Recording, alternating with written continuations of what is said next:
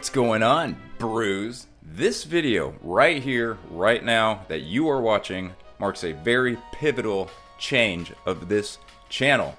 And as a reward for you, the viewer, listening to me rant for the next minute to minute 30 seconds, I'm immediately going to reward you and get right into the next card that I think is going to explode in price. The cards that I tell you, look guys, for your collection goals, for your whatever, you need to buy this card now because it is about to explode. I'm going to get directly into that card as soon as I am done talking, and then we'll go from there. But yeah, I just, a lot of people don't care about channel announcements and stuff, so I just want you to know here in a minute we will get right to the goods. Alright? And my track record is flawless this year. So here we go. Here's my quick rant.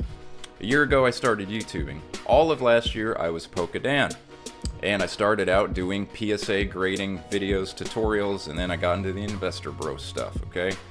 And January 1st happened, I became Mimik Brew, and as Mimik Brew, I started leaning way more into the very critical commentary videos, reaction videos, giving my takes on things, blah blah blah, and then also with an emphasis on saving you guys money because I became a master setter. I'm master setting every single set that comes out so all these Pokemon card prices matter a lot to me.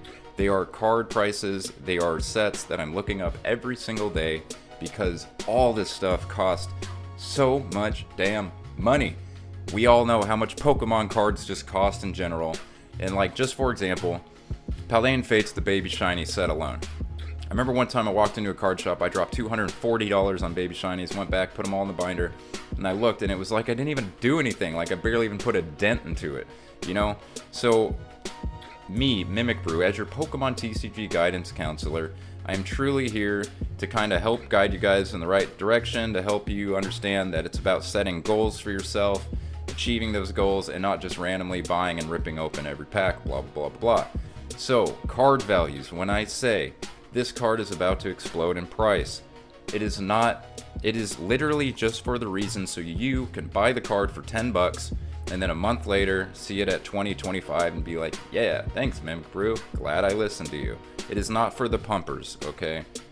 And i will start instilling some fail safes hopefully in the future to where we can eradicate pumpers and literally just make this information available for people who truly care about pokemon cards and just want to save money before they get out of hand like the magikarp. We would all love to have bought magikarp at $60 not $120 and so my goal here is to help you understand when these cards are probably about to pop off. So if you're interested, get it now. Okay? There. So six months is Pokedan, six months is Mimik Brew. Now, moving forward, I'm going to combine the best of both worlds, basically split personality here on this channel. I'm going to lean back heavily into the Investor Bro content when you spend the last six months making every type of Pokemon TCG content imaginable, and the views, the subs, the likes, the comments are just massively any video where I talk about Pokemon cards. Oh, Mimik Brew, you're the best. You're, you know, 100, 150 new subs on my last one where I told you guys about Steelix and then double in price two days later. Literally, I gained 150 new subscribers just off that one video. That is 10% bump in subs okay? If you're good at something, do it. If the people want it, do it. So I'm going to do it for you, the viewer, because that is the, the type of video that you guys like to see out of me. However, Mimik Brew himself will still be appearing, the full Mimik Brew.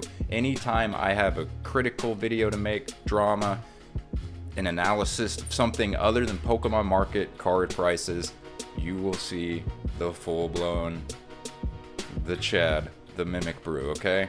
So, when we're talking investor bro, you get this guy. And then when we're talking drama or other stuff, you get the brew. All right, there you go. That's my spiel. Let's get into the goods. Okay, we're, we're getting into the goods now. All right, guys. So, here we go. There it is, Ralts. And I'm going to explain to you why it's Ralts. So Ralts is the next card that I think is going to explode in price, or at least very much continue to go up in price. Hopefully not like Steelix did, where it was like, Bee! okay. But and here, here's the thought process behind Ralts. How do I how do I decide when these cards are going to explode? Okay, So first of all, you have the chart itself, the one month, the three month, the six month, okay? And then you have what is going on in the market with similar rarity tier cards from that era. So we already have a history in the last few months of illustration rares increasing in value. And we have people in the market that are starting to realize that set size, something I've been saying since I started this channel, makes a huge, huge difference on the rarity per these cards, such as special illustration rares, illustration rares per set. So, and how many hits per rarity tier is a massive factor. Let's talk about Scarlet and Violet base set. Paldea Evolved 36 illustration rares. Uh, Paradox Rift, 35 illustration rares. So that alone is the foundation for any one or two specific illustration rares to be worth a ton because the difficulty to pull is exceptionally massive. It's a 1 in 12 card. Good luck pulling Magikarp. You just won't, okay? So that there's that. And then you have on the other end of the spectrum, Obsidian Flames. Tiny set. Everything is ridiculously easy to pull. Side note, because of Obsidian Flames, you may have noticed some tweaking in pull rates with Paradox Rift, with Temporal Force, with Twilight Masquerade. That is because the Pokemon Company themselves is retroactively evaluating every one of these sets after they release, seeing how the community responds, seeing values. They're over analyzing this stuff after the fact, which is why you are getting tweaks to pull rates, which is why Twilight Masquerade and Temporal Forces, you are not guaranteed an SIR in a booster box, okay? So you take all this stuff from the charts to what's going on in the era, what's going on in the community related to similar cards.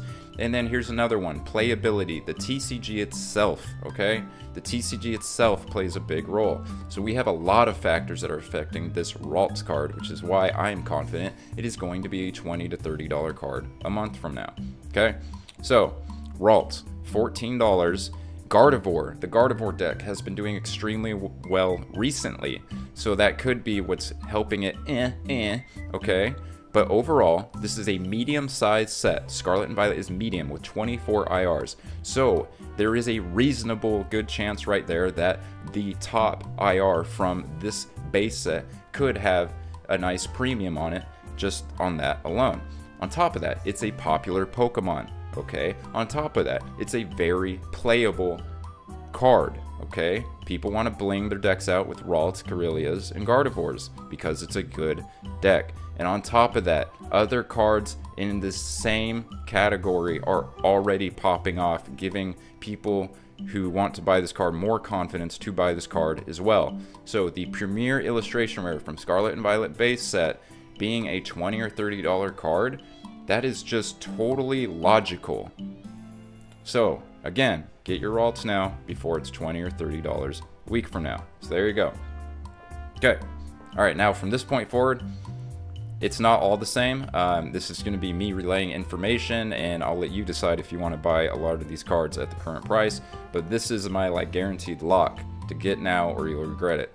Just like I said, 30 bucks for Groudon. Just like I said, 12 bucks for Steelix. Just like I said, 20 bucks for Raichu, Tyranitar. All these cards have doubled in price since I told you to go out and buy them. All right, here we go. What do I got next? Pallay Evolves, or Pallay, Paldean Fates.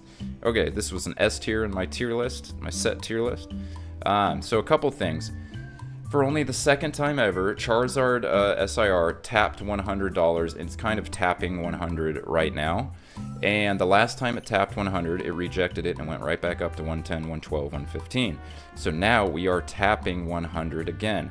So I'm just saying right now, if you are someone who is interested in this card, now would be a good time to start paying attention to this card because if it cracks 99, it could free fall down to 80 quickly. That's a big $100, is a nice round number where if things go above, they usually bounce, and if things go below, they usually fall. So right now, if you're interested in this card, I would keep an eye on this card and seeing what it does at the $100 mark. Another one, one that's going up instead of going down, is Gardevoir. So again, there could be some playability attached to this, but at the same time, I don't actually believe that. I think that this card, let's look at the six month.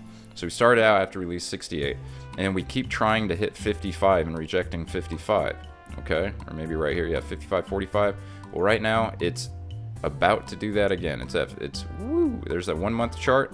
see where it is. I wouldn't be surprised if Charizard goes down and Gardevoir goes up and Mew just keeps on going up. I wouldn't be surprised if a few months from now Mew is the most expensive card and not Charizard. Literally, from the set. But Gardevoir is 60, 70 bucks. I could easily see that. Uh, yeah, so anyway, Gardevoir is doing some interesting things to the upward side, whereas Charizard is doing some interesting things to the downward side. Alright, now let's get into a Baby Shiny. For the first time in like two months, so over the last two months, Snorlax has just been going from 12 to about $14. And then finally, just in the last couple weeks, it has cracked over 15 and now we are at $17 and listings for $20.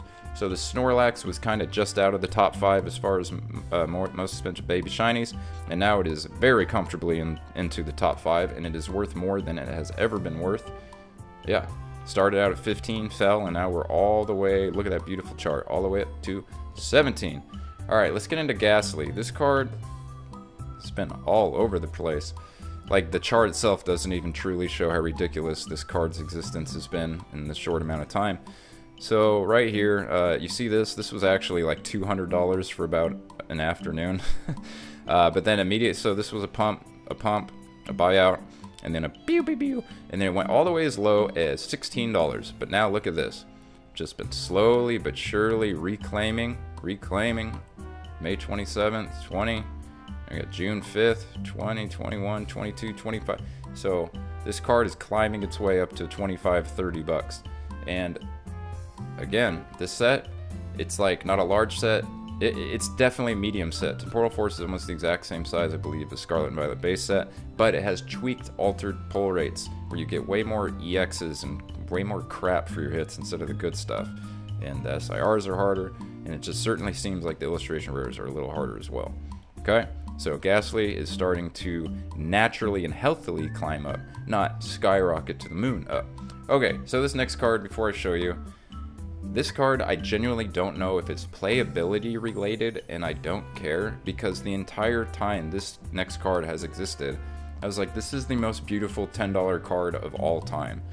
It is such a beautiful card, and it's from one of my favorite Scarlet and Violet sets by far. It's Tapu Koko from Paradox Rift. This card is finally, finally going up. So, look at this. So March, let's go to three month. So for the last, you know, foreseeable past, it's been a 10 to 12 dollar card. And then just now, at the beginning of this month, we have this. And this is why I was wondering if it's playability, play, play, play, blah, playability related or not. Either way, this card is finally getting up to, I think, the value it should be at.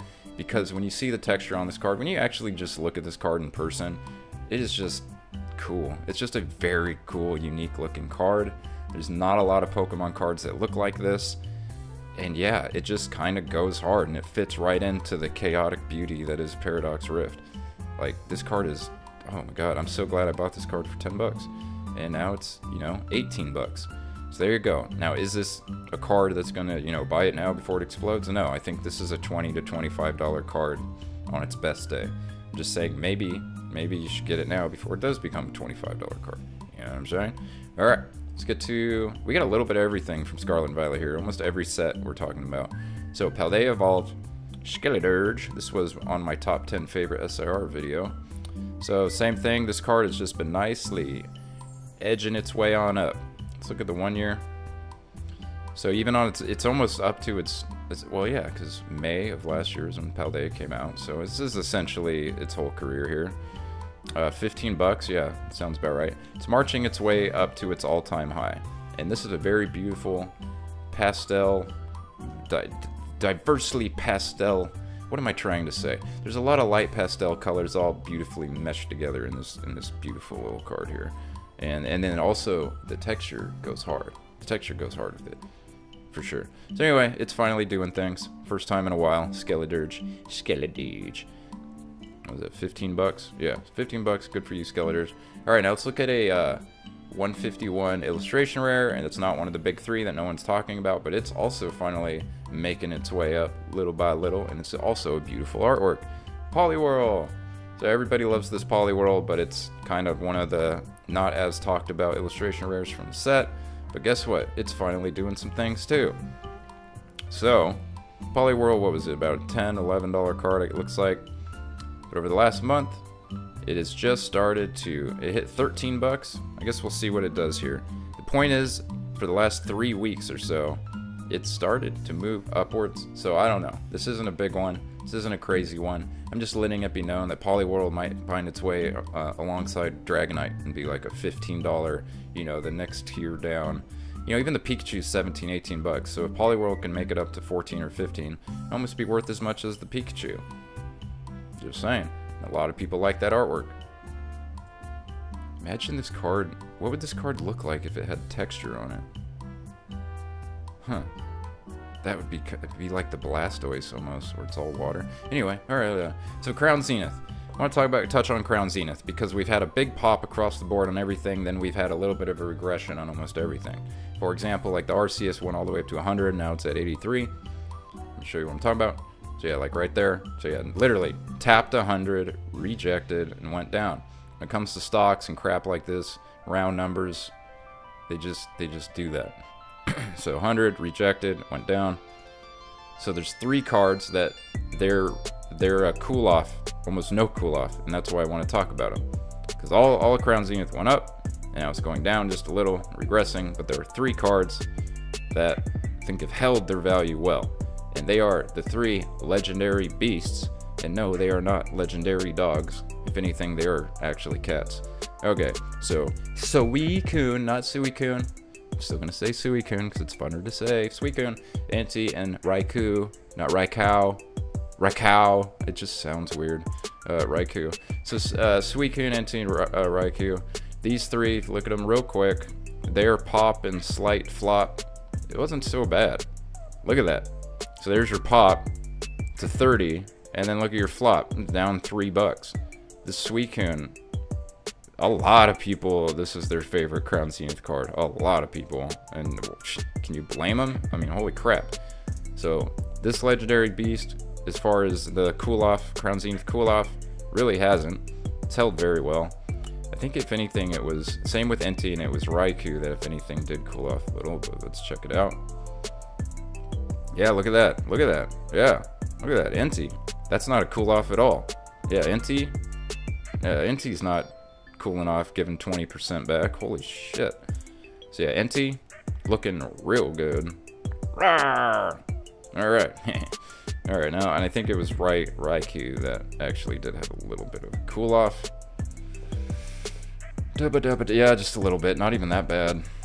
Let's see here. So we hit 25. Now, I bet you it rejects 20 and goes right back up to 25. So yeah, the three of these, these are always probably all three of these are going to track together with each other because they're all so equally. I mean, Suicune's definitely the best. But I mean, shit. I mean, see, that's the thing. You look at all three of them, they're all equally cool in their own way. And they're the they're a trio. So, would it be surprised if all three of these hold very strong upper value in Crown Zenith? The Leafeon and the Glaceon, they're evolutions, so they're probably always going to be hot and cold, but, I mean, they'll probably still rest somewhere above the three legendary beasts.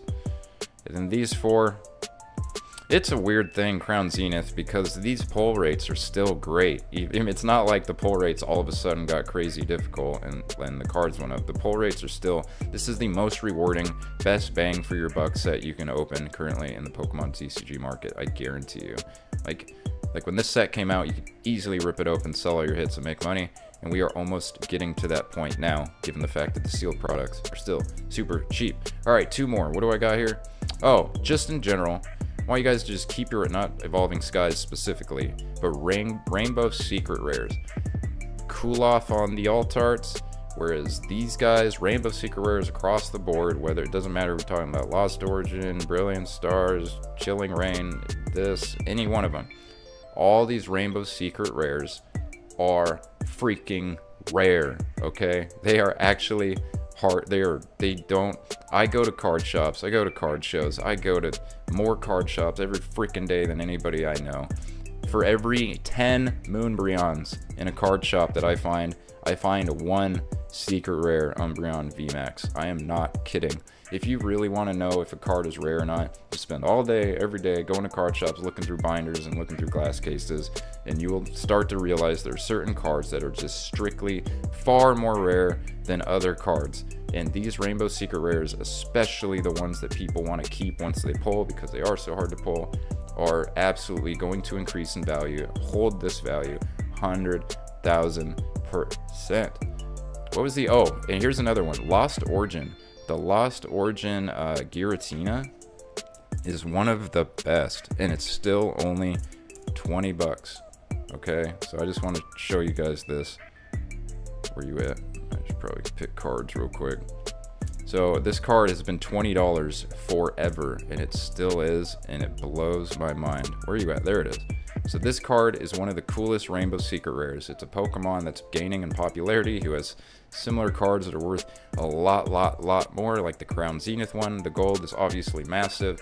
This card is an exceptionally rare card, and the fact that it's still only $20 blows my freaking mind. So it's cards like this I think you should keep your eye out on and consider collecting Rainbow Secret Rares from Sword and Shield. And last time, one for the waifu and furry boys, I just want to remind you guys that a year ago, Marnie, full art trainer, the chase from Sword and Shield base, was worth twice as much as it is now, and I think you're running out of time to get it at a discount. So a year ago, this card was $80. right here and now, it is $40.